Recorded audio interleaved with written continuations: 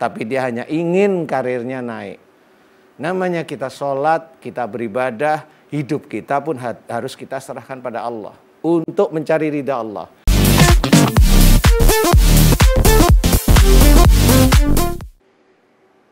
Bismillahirrahmanirrahim. Assalamualaikum warahmatullahi wabarakatuh. Waalaikumsalam warahmatullahi wabarakatuh.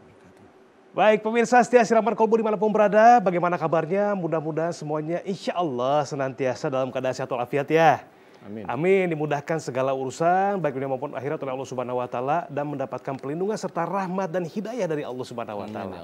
Alhamdulillah senang sekali di hari Senin ini untuk mengawali hari saya Bobi Maulana beserta guru saya, guru kita semua Pak Ustadz Danu. Kita semua bisa berkumpul lagi dan selamat datang di Siraman Kolbu Sejukan Hati. Selasa. Kenapa? Selasa. Sekarang hari apa? Rebu. Oh iya Selasa ya. Mohon maaf bisa. ini nih efek kehujanan nih Pak Ustadz. Mohon maaf pemirsa, di luar hujan gede banget. Aduh, saya jadi siwer gitu Pak Ustadz ya. Selamat datang dari Selasa, mudah-mudahan sehat semuanya. Mohon maaf, saya salah. Aduh, baik Pak Ustadz. eh, tema kita pagi hari ini luar biasa bagus. Kejar akhiratmu, dunia mengikuti. Ini pedoman untuk setiap kehidupan manusia, bagaimana caranya untuk mendapatkan dunia, senantiasa mengejar akhirat, mudah-mudahan ketika akhirat dikejar, dunia mengikuti. Jadi supaya kita tidak terlalu terperangkap dalam dunia yang fana ini, Ustadz, Iya. tentang nafsu dunia. Silakan tausiahnya, Pak Ustadz. Terima kasih Mas Bobi. Iya. Bismillahirrahmanirrahim. Assalamualaikum warahmatullahi wabarakatuh. Waalaikumsalam warahmatullahi Amin ya rabbal alamin. Alhamdulillah. Mudah-mudahan di pagi hari ini kita senantiasa diberi kesehatan dan juga hidayah oleh Allah Ta'ala. Amin. Amin. Tema kita bagus sekali, kejar akhiratmu dunia mengikuti. Nah ini, ini yang dianjurkan oleh Allah Ta'ala sebenarnya ya. Selama ini banyak kita itu selalu mendengar, kamu itu kok kerja aja, akhiratmu mana, akhiratmu mana. Kamu tuh ngurusin dunia aja, akhiratmu mana. Maksudnya itu kerja itu dianggap dunia. Ya, ngurusin sesuatu di dunia itu dianggap dunia, bukan akhirat. Nah akhirat itu mikirnya hanya sholat. Mikirnya seseorang yang bilang begitu. Padahal kalau kita pahami, kalau kita itu bekerja, niatnya karena Allah Ta'ala, mengamalkan ayat-ayat Allah, itu akhirat sebenarnya. Ini saya tekankan. Kenapa? Allah menyuruh di kita sendiri sebagai seorang muslim, Ya.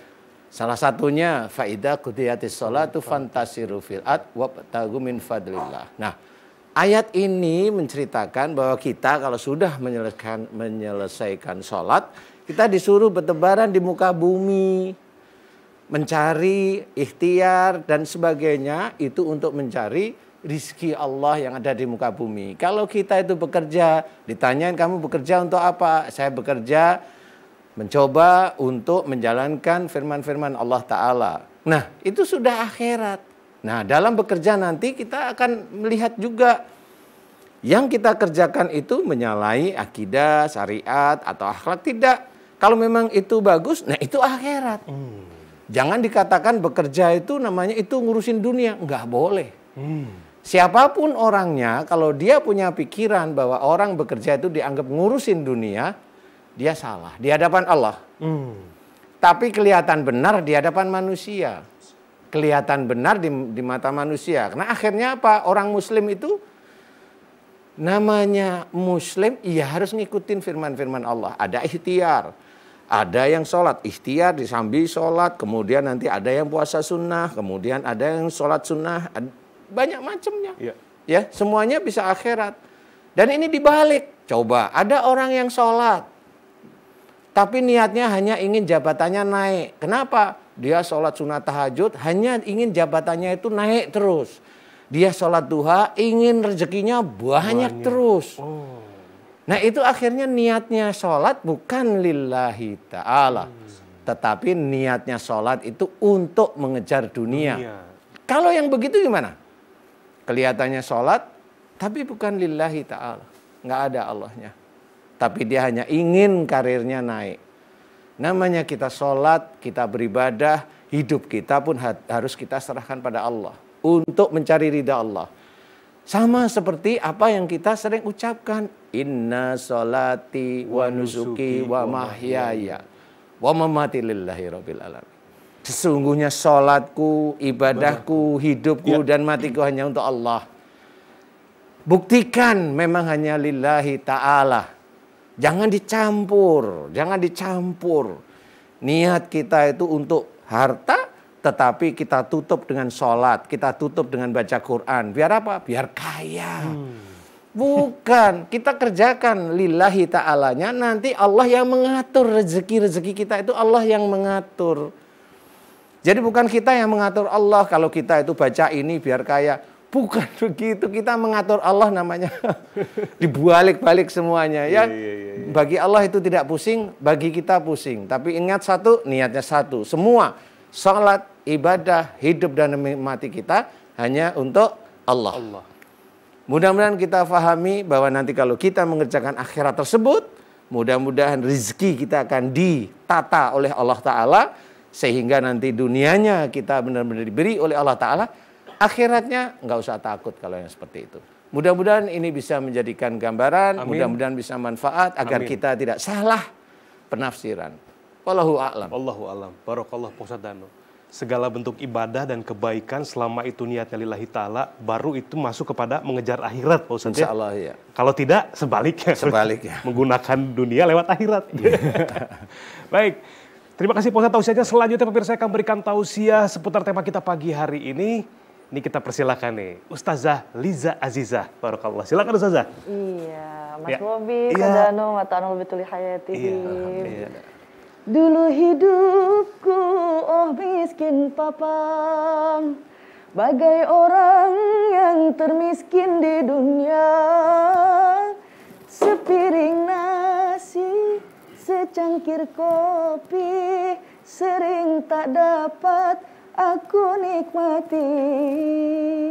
Tapi kini oh Alhamdulillah. Walau tak kaya bergelimang harta Tapi hidupku cukup bahagia Karena usaha daya upaya. Ah. Assalamualaikum warahmatullahi wabarakatuh. Waalaikumsalam warahmatullahi wabarakatuh. Alhamdulillah wassalatu wassalamu ala man la nabiyya ba'dah. Sayyidina wa habibina wa syafi'ina wa qurrati a'yunina wa maulana Muhammadin ibni Abdullah wa ala alihi wa ashabihi wa man tabi'ahu ila yaumil qiyamah. Wa ba'd. Puji syukur marilah kita panjatkan kehadirat Allah yang Maha Ghafur. Yang nggak pernah tidur apalagi ngelantur kayak tukang bubur sama tukang sayur yang mana rahmatnya tak akan terhitung walau rambut kita sampai gugur dan dicukur. Alhamdulillah. Salawat serta salam semoga tercurah limpahkan kepada baginda alam, orang yang taat ibadahnya, yang khusyuk sholatnya, pemimpin dunia yang memikirkan umatnya bukan orang Bogor tapi namanya sudah tersohor, bukan orang Cianjur tapi orangnya top super jujur, bukan orang Bandung tapi melihatnya pasti kan tersanjung. Tak lain ialah Habibana wa Nabiyana Muhammad Sallallahu Alaihi Wasallam. Masya Allah. Jamaah siraman kolbu di mana pun anda berada yang insya Allah Allah muliakan. Salah seorang mufasir kebanggaan kita umat Islam Indonesia mengatakan sumber musibah salah satunya adalah kebodohan. Sementara sumber dosa salah satunya adalah cinta yang berlebihan.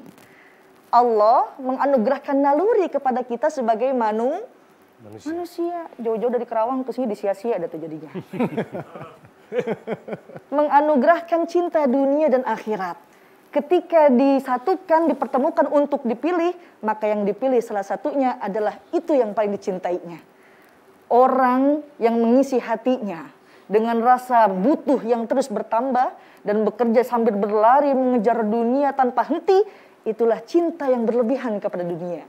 Ingat dalam surah Ali Imran ayat 185 dikatakan, A'udzubillahi minasyaitonirrajim.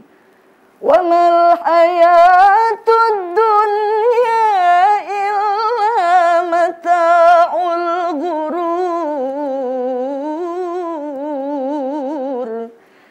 Sesungguhnya kehidupan dunia hanyalah kesenangan yang memperdaya Jangan terlalu cinta dunia mak, semuanya juga bakal mak mati orang kaya mati orang miskin mati raja-raja mati rakyat biasa, mati Mas Bobi, Mati. Aziza, Mati masih juga. ada. Oh, masih ada ya. Nantinya ya. Jadi bagaimana agar kita tidak hubbud dunia, tidak cinta dunia? Yang pertama kata Nabi, Man arada dunya fa'alaihi bi'ilmi wa man arada al-akhirah fa'alaihi bi'ilmi wa man aradahuma fa'alaihima bi'ilmi fa'alaihima bi'ilmi. Perbanyak kita ngaji pakai ilmu agama. Lihat siraman kolbu dapat ilmu manfaat. Amin, yang keduanya punya sifat qanaah terima apa adanya insya Allah kita kejar akhirat dunia akan turut mengikuti kita seperti bayangan ke mana pun kita akan pergi ia akan mengikuti wallahu a'lam bishawab Masya Allah. Masya Allah. Begitu Mas. Bobi. Iya, terima kasih Ustazah. Barakallah. Ustazah Oh, boleh silakan. duduk, iya. Dulu, kita kayak kayak anak SD di setrap jadi. silakan duduk. Tinggal Silakan Ustazah. tinggal tangan naik sini, kaki naik satu. Iya Allah, barakallah. Dengerin Ustazah Liza pagi-pagi, bikin nggak mau pergi. Jadi buat teman sarapan pagi, rasanya channel ini nggak mau berbagi. Ya Allah, Aduh, paling asik banget. Asik ya? Itu mikirinnya dari dua hari yang lalu itu mikirinnya. Barakallah sekali lagi terima kasih Ustazah, Pak Ustadz Danu, atas sosialnya. Mudah-mudahan kita semua menjadi manusia yang senantiasa bisa mendahulukan akhirat daripada dunia dan kita menjadi orang-orang yang beruntung nanti ketika dia umat akhirat. Amin. Terima kasih sekali lagi. Pemirsa, selain satu ini kita akan keadaan narasumber yang pertama nih seorang wanita keluhannya adalah saat kesurupan reaksinya bergerak mencakar seperti harimau dan berkata, "Saya mau kembalikan keris anak ibu." Uh, Kira-kira ini apa harimaunya yang punya keris atau seperti apa? nih? Jangan ke mana-mana tapi Siraman Kolbu, sejukan hati.